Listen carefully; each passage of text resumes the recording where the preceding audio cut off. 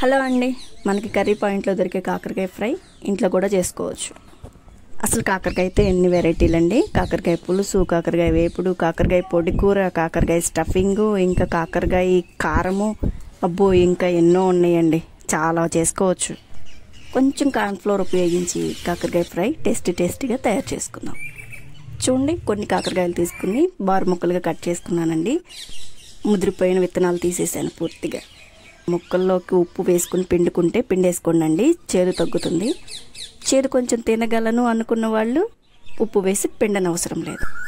ఇంకా మన ముక్కల్లోకి కాస్త కార్న్ఫ్లోర్ వేసి తగినంత ఉప్పు కొంచెం కారం వేసుకుని ధనియాలు మిరియాలు జీలకర్ర పొడి అండి అది. కొంచెం యాడ్ చేస్తున్నాను. ఇంకా వాటర్ కొంచెం అట్లా చిలకరించేసుకుని పొడి పొడిగా కలిపేసుకోవాలండి కార్న్ఫ్లోర్ ఇంకెక్కువ కావాలంటే మీరు వేసుకోవచ్చు.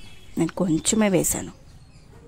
మనం అవన్నీ వేసినా కూడా కాకరకాయ ముక్కల చేదు తెలుస్తుందండి. ఉప్పు వేసుకుని మీరు గట్టిగా నీరు పిండేసుకుంటే చేదు తెలియదు నేను పిండలేదు నాకు చేదు తెలుస్తుంది కూడా. చూడండి అట్లా లైట్గా కలిపేసుకుని ఆయిల్లో డీప్ ఫ్రై చేసేసుకోవటమే.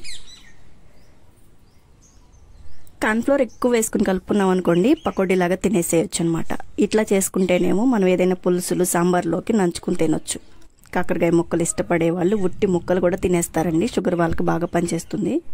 చాలా బాగా తినొచ్చు అనమాట అలా ఎర్రగా వేగిపోయిన తర్వాత నాలుగైదు పచ్చిమిర్చి చిలుకలు వేసేసి అవి కాడ కొంచెం వేగనిచ్చి రెండు రెబ్బల కరివేపాకు కూడా వేసి వేగిపోయిన మొత్తాన్ని ప్లేట్లోకి తీసేసుకోవటమే. ఇంకంతేనండి తీసేసుకున్న తర్వాత చాట్ మసాలా కూడా చిమ్ముకుంటారు కొంతమంది పై పైన.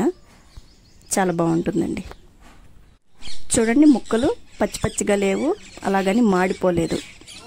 పర్ఫెక్ట్గా వేగినాయండి ఎర్రగా కరకరలాడుతున్నాయి.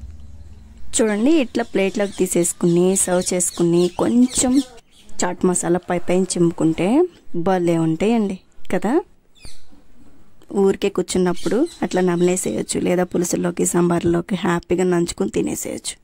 చాలా బాగున్నాయండి. నేను ఉప్పు వేసి నీళ్ళు పిండలేదు కదండి కొంచెం చేదు చేదుగానే ఉన్నాయి.